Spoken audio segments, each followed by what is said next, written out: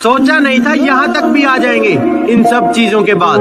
बस जितना भी आप सबने प्यार दिया, आप सबका दिल से धन्यवाद।